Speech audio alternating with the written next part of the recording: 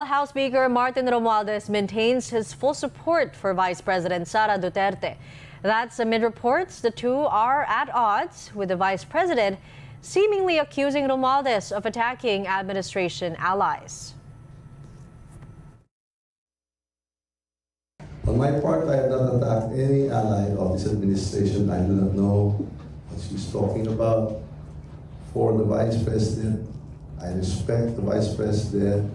Ask my Vice President, ask my Secretary of Education. She has my full support. I don't know what I have said or done to attack her. Please identify those actuations, if any. Kung nakikinig siya sa mga marites o kung kanino siya nagawa dyan, that's up to her. But Uh, miski paano, may pinagsamahan din natin, miski wala daw ako kinalaman sa pagka-vice president. Yeah. I was her campaign manager and we worked very hard together and I was very, very happy that she was um, successfully elected with a very, very, very high mandate for VP. I congratulate her. Get. Karong panahon na. The Vice President's father, former President Rodrigo Duterte, raised eyebrows last year when he accused the House of Representatives as being the most rotten institution. The lower house then junked Vice President Duterte's request for intelligence funds in the 2024 national budget. Malacanang staying mum on the separate meetings held by President Ferdinand Marcos Jr. with both houses of Congress Thursday. Presidential Communications Office Secretary Cheloy Garafil said the discussions during those meetings are classified and won't be made public. The Senate and the House of Representatives are at odds over the latest charter change push via a people's initiative. The Senate rejected this effort, which is supposedly being backed by House Speaker Martin Romualdez. Romualdez has denied that allegation. The Speaker has reached out to Senate President Juan Miguel Zubiri. In a letter to Zubiri, Romualdez stressed the importance of opening up the country to more foreign investments. He also committed to adopt the Senate's charter change resolution, which focuses on amending economic provisions once it has been approved by the upper chamber.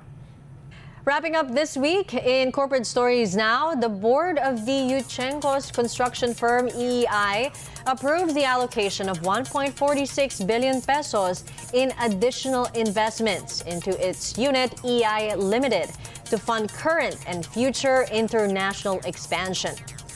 Meanwhile, Apex Mining is set to resume operations at a site in Davao de Oro. The company says the Mines and Geosciences Bureau has lifted the cease and desist order on its mining operations in the southern Philippine area. That order was issued in March last year due to a landslide from an earthquake and heavy rain. Finally, Ayala Land and its two units offload 5.6 billion pesos worth of common shares of the group's real estate investment trust. ALI says the sale of some 181 million offer shares of AREIT is in relation to its property for share swap transaction with the firm with BPI Capital Corporation, as well as with UBS Singapore and CLSA Limited as placement agents. Proceeds from the block sale will be settled on January 30th under a placement agreement. Appeals rejected. The motions for reconsideration filed by Embattled TV network SMNI on the suspension of two of its programs were junked by Philippine television regulators. The, MTAC, the MTRCB said SMNI did not present any new arguments in its appeals. Last December, the MTRCB suspended for 14 days SMNI programs Gikan sa Masa para sa Masa and Laban Kasama ang Bayan after complaints were filed against the shows. These include the death threat issued on air by former President Rodrigo Duterte. That suspension was subsequently extended to 28 days. The National Telecommunications Commission has also ordered SMNI to cease operations pending the resolution on cases involving alleged violations of its franchise. Our numbers that matter this Friday is on the latest Philippine trade figures. Official data on Friday showed the country's trade deficit narrowed to $4 billion in December. This was down by 11% from the $4.5 billion in 2022. Total export sales in December contracted to $5.78 billion from the 5.81 billion year on year. Statistics Bureau notes other mineral products saw the biggest decline in outbound shipments, or from $288 million in 2022 to 155 million in 2023. Countries and territories with highest Philippine exports were Hong Kong, US, Japan, China, and South Korea. Philippine economic managers approved two key projects to boost growth in the country. NEDA Secretary Arsenio Balisacan says the NEDA board approved during a recent meeting the 12 billion peso upgrade and expansion of the Laguindingan International Airport in northern Mindanao.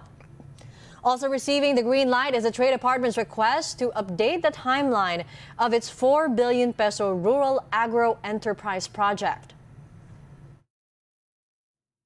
The project supports the government's efforts to enhance regional development and promote tourism in northern Mindanao and its neighboring regions. The Rapid Growth Project, amounting to 4.78 billion pesos, aims to support 78,000 farming households by expanding both on-farm and off-farm activities and generating employment opportunities in rural areas. Balisacan says the Philippine economy did well last year, despite what he said were a magnitude of challenges, some of which persist. The Philippine economy grew by 5.9% in the third quarter. Official growth figures for 2023 will be released next week. This year, government is targeting an expansion rate of as much as 7.5%. We begin 2024 with significant momentum, having secured approval for projects that form part of our journey toward achieving social and economic transformation